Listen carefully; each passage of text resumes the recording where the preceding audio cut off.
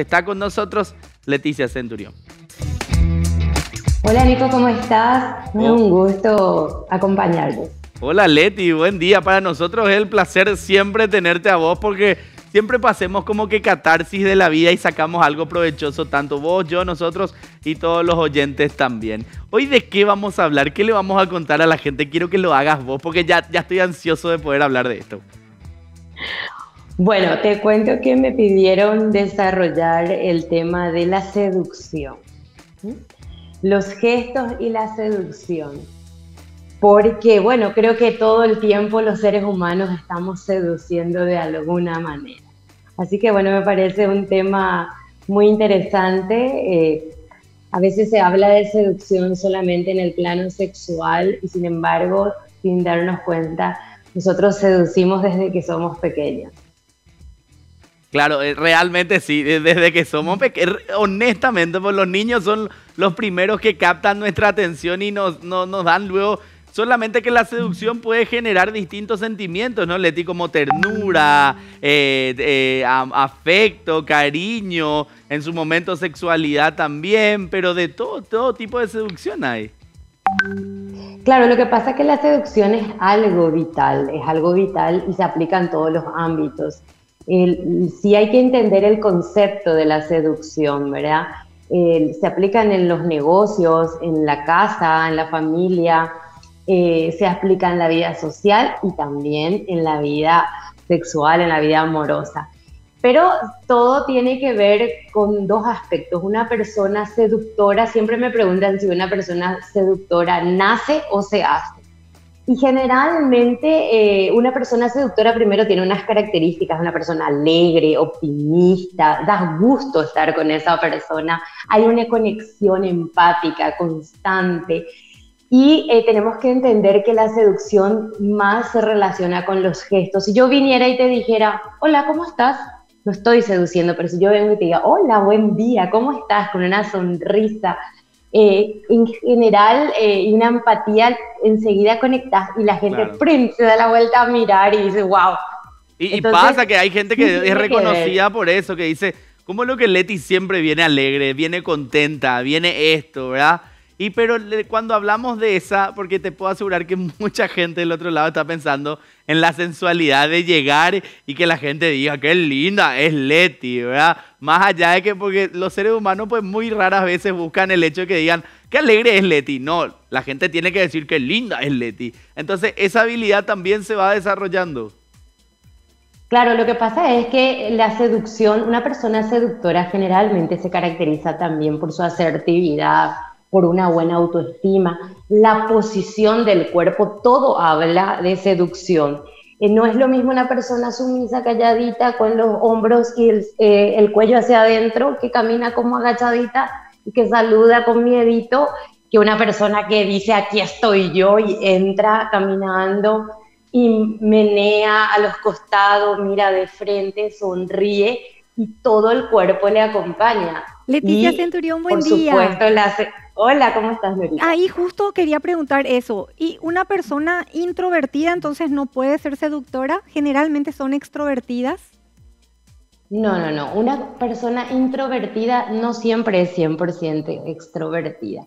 Una cosa es ser tímida y otra Ah, cosa ya. es ser introvertida. La timidez es sí un sinónimo de como de más de sumisión, de, de, de tener como cierto, eh, ¿cómo se dice? Eh, cierta introspección o, o- estar como atrincherada, digo yo, ¿verdad? Tiene como dificultad para conectar de entrada con la gente. Pero una introvertida es una persona realmente que elige con quién va a, a socializar.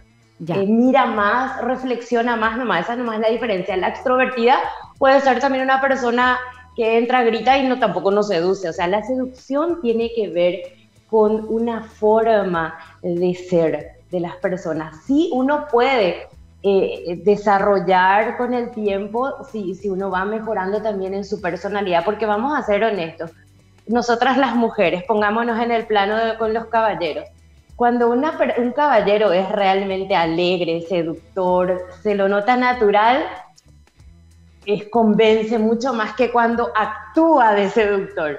Enseguida te das cuenta cuando una persona actúa y detrás de esa actuación hay una intención. Y lo mismo pasa con las mujeres. Pero cuando uno realmente es natural, se sonríe, es alegre, eh, no siempre tiene que ser solamente en el plano sexual, simplemente llama la atención y conecta con las personas. Una persona que habla en público tiene que ser seductora, o si no, la conferencia va a ser totalmente aburrida. Una persona eh, que hace negocios, si quiere realmente cerrar una buena venta, tiene que ser una persona que conecte con el cliente. Y en el amor, en el plano amoroso, sí hay algunas pistas interesantes que son muchas veces innatas e inconscientes a la hora de seducir las mujeres y los hombres.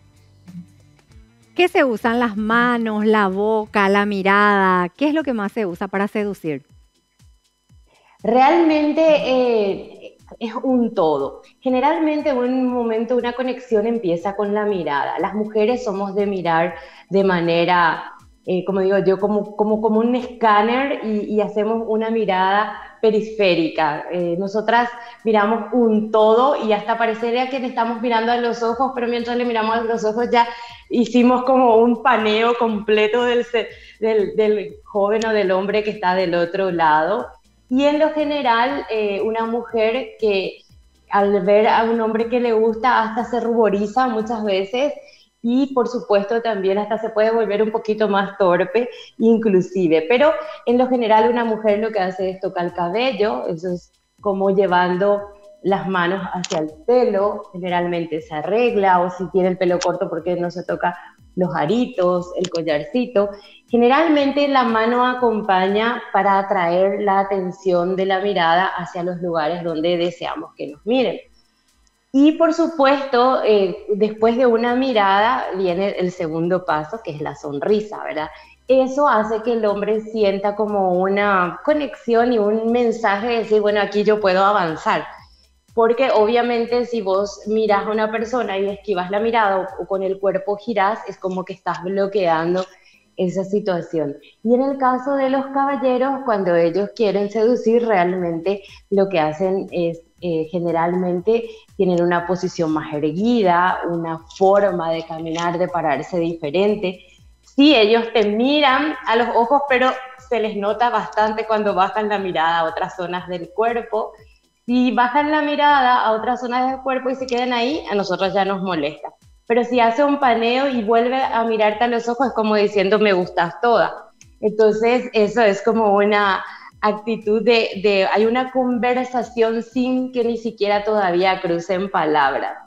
Y en lo general, eh, las manos acompañan siempre porque lo que buscan las manos es generar una atención hacia un lugar del cuerpo. Los hombres generalmente se suelen parar, ahí no se puede ver bien, pero con la mano en los bolsillos o colocan eh, las manos cerca del, eh, ¿cómo se dice?, de los cintos o ponen generalmente de una manera que hagan que una mm, lleve la mirada a otras zonas del cuerpo de los caballeros y por supuesto, ellos tienen una mirada más intensa, de más de poder, eh, eso es un poco. Y nosotras, sin embargo, somos como mirar al, frente, a los costados, giramos, eh, bajamos la barbilla, como es una, eh, un poco de sumisión, pero no es sumisión, sino de conquista. Los gestos y la seducción sin palabras, pero cuando hablaste de familia no me quedó claro. ¿Cómo seducimos? Como para convencerle a mamá, mamá, quiero comer esto, quiero comprar esto, comprame esa muñeca si sos pequeña. ¿Cuándo empezás a seducir? Yo creo que desde pequeños, eh, algo que a mí me encanta cuando mi, mi, niña viene y me dice, qué linda que está hoy, ¿qué vamos a hacer hoy?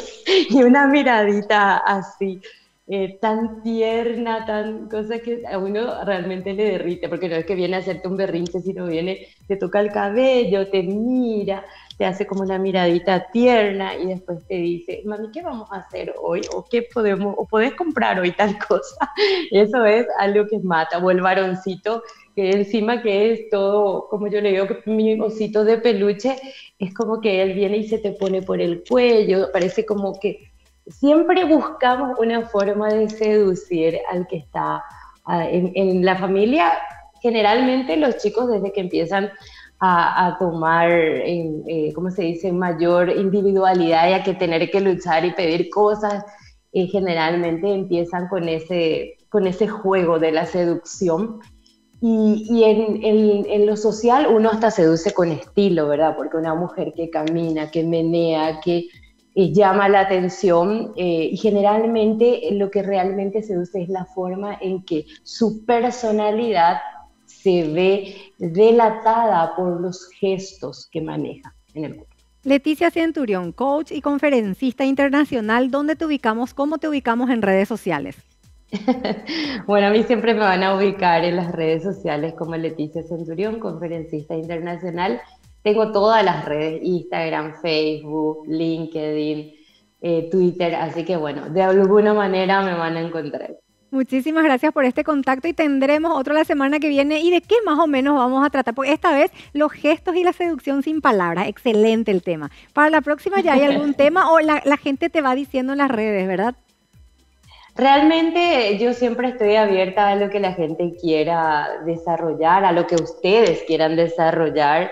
Eh, ustedes son los que conocen más a la audiencia, pero hay muchos temas, infinidades de temas que podemos desarrollar y que se hacen tan interesantes a la hora de, poder aportar algo a las personas. Un tema que está pasando mucho, la agresión en el tránsito. Últimamente la agresión en el tránsito es algo que pasó porque estuvimos encerrados, salimos después de mucho, hay problemas económicos. ¿Qué es lo que está pasando? Ese sería un buen tema, Leticia Centurión.